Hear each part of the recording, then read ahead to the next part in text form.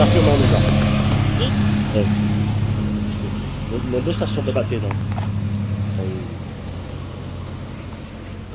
Pode chegar mais próximo.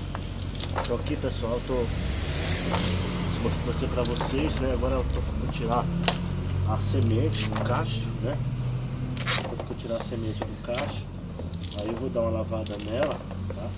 Pra ela ficar sem as cascas, né? né? Aí vou colocar ela para secar. Depois que eu colocar ela para ela secar, aí eu vou começar o plantio, né? Vou começar o plantio, vou mostrar para vocês como que faz o plantio dessa palmeira aqui. Tá Nós vamos usar uma terra boa de jardim.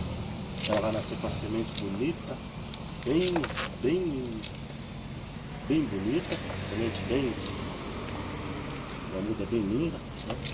Aí eu tô tirando aqui a parte que eu mostrei pra vocês o cacho inteiro. Agora eu vou, eu vou tirar a semente. Essa semente, como eu falei pra vocês, é de palmeira areca bambu. Né? É areca bambu, é uma palmeira que é conhecida também como coqueirinhos, né? Então, eu tô tirando aqui essa palmeira, essa semente para depois a gente lavar ela e colocar para secar e depois colocar ela para o plantio. Tá ok pessoal? Então tá aí. Já tirei toda a semente, o cacho já tava. O cacho tava.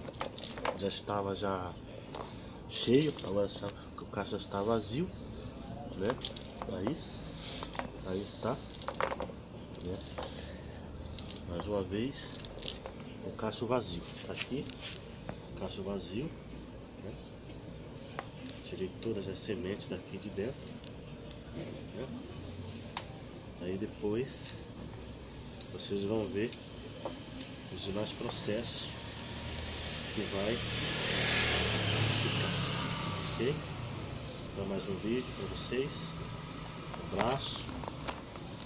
E acompanha nós. Até o próximo vídeo. A gente ver o processo da, da secagem, tá ok? Fica com Deus, um abraço. Com Deus. Até o próximo vídeo